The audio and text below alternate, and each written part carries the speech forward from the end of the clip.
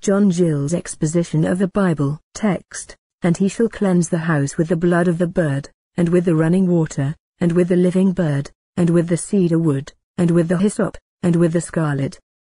Leviticus 14, 52. Commentary, verse 52. And he shall cleanse the house with the blood of the bird. See Gill on Leviticus 14, 4.